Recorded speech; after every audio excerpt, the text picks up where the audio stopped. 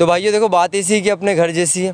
आज हमारे बड़े भाई मोन्टू जी का जन्मदिन था और साथ ही हमारे पेज स्ट्रीट ऑफ़ मंसूर पर पच्चीस हज़ार फॉलोअर भी कंप्लीट हो गए थे। तो हमने सोचा कि इस खुशी को वृद्धाश्रम में जाकर उन लोगों के साथ बांटा जाए जिनका कोई भी नहीं है। आज हम यहाँ पर आए, इन लोगों से मिले, काफ़ी अच्छा लगा।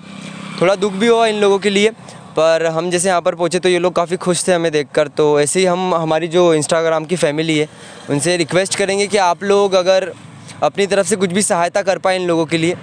पैसे से लेकर या फिर कोई भी चीज़, खाना डोनेट करना है आपका बर्थडे तो आप यहाँ पर आकर सेलिब्रेट कर सकते हैं कुछ भी। या फिर आपके पास, आप ये कुछ भी नहीं कर सकते तो आपका खाली समय लेकर आकर इन लोगों के साथ बिताएँ तो आपको भी अच्छा लगेगा, इन लोगों को भी अच्छा लगेगा।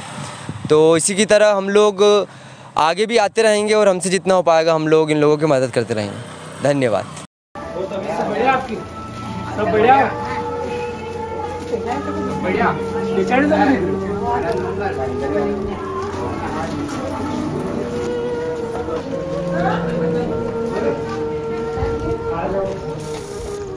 आज इसका जन्मदिन है भैया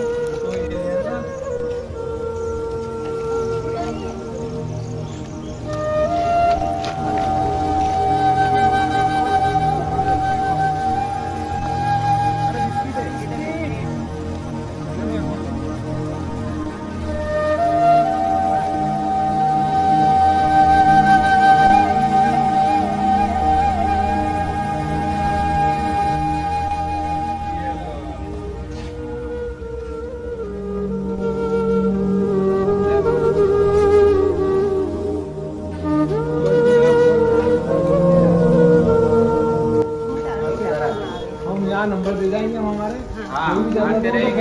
हो तो। हम आते रहेंगे। है ना? ये मंसूर में रहते हैं हाँ, हाँ, अच्छा। हम नंबर दे जाएँगे।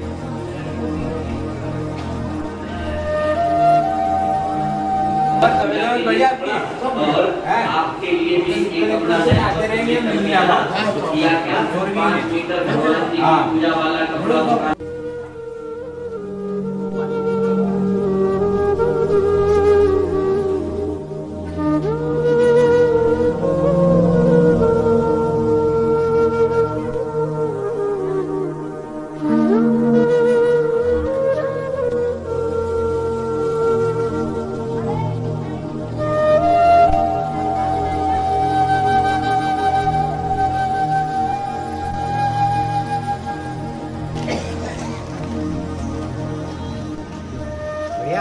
बढ़िया पानी।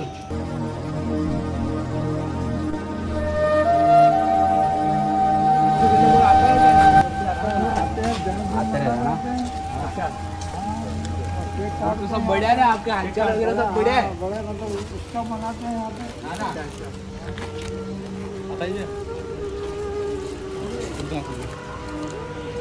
और हम ऐसे ही आते रहेंगे आपको कोई ज़रूरत पड़े हाँ मंसूर ये संजीता के सब रामकृष्ण